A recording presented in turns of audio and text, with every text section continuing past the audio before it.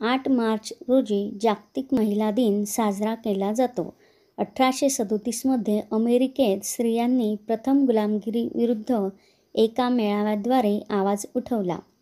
त्यानंतर स्त्रियांना आपल्यावर होणाऱ्या अन्यायाची जाणीव होऊ लागली. त्या संघटित झाल्या. पुढे एकोणीसशे अठ्ठेचाळीसमध्ये सेनेका फॉल्स येथे स्त्रियांच्या प्रश्नांच्या संदर्भात परिषद भरली व त्यातून जागतिक चळवळ उभी राहिली. आठ मार्च एकोणीसशे दहामध्ये अमेरिकेत एका शिलाईच्या कारखान्यातील स्त्रियांवर लाठी हल्ला झाला. ह्या घटनेचा निषेध करण्यासाठी स्त्रिया संघटित झाल्या. त्यांनी दिलेला हा लढा खरोखरच शौर्यशाली होता. म्हणूनच हा दिवस जागतिक स्तरावर महिला दिन म्हणून साजरा केला जातो. आज एकीकडे महिला प्रगतीपथावर पोहोचलेल्या दिसत आहे तर काही ठिकाणी अजूनही स्त्रियांवर अत्याचार होत असल्याचे चित्र दिसत आहे. अशी परस्परविरोधी अनेक उदाहरणे आपल्याला पाहावयास मिळत आहेत.